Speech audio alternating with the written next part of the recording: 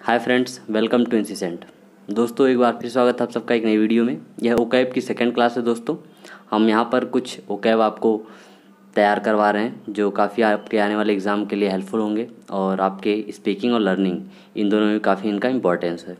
तो चलिए शुरू करते हैं। पहला वर्ड है ग्लिम्स मतलब किसी चीज़ की एक झलक पाना। तो यहाँ पे एक स्टेटमेंट दिया गया है। The crowd had a glimpse of their favourite star मतलब भीड़ को यहाँ पर अपने एक फेवरेट कलाकार की एक झलक मिली। और यहाँ पर नीचे उसके, नीचे एक सेंटेंस और दिया गया है a glimpse outside from the window मतलब हमने एक नज़र डाली खिड़की के बाहर। तो ग्लिम्स मतलब होता है एक झलक। नेक्स्ट दोस्तों, Cortés.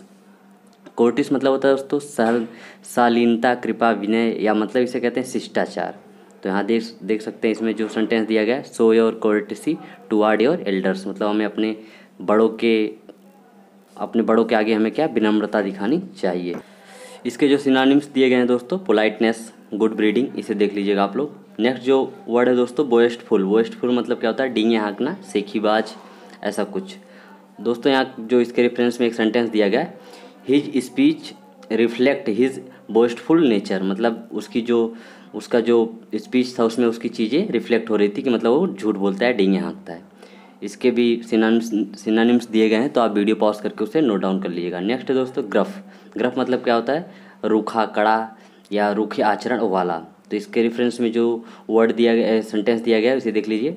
His his gruffs manner give a very bad impression मतलब उसका जो कड़ा या रुक जो खुरदरा नेचर है, वह काफ़ी दूसरों को प्रभाव मतलब बुरा इफ़ेक्ट डालता है दूसरों पे।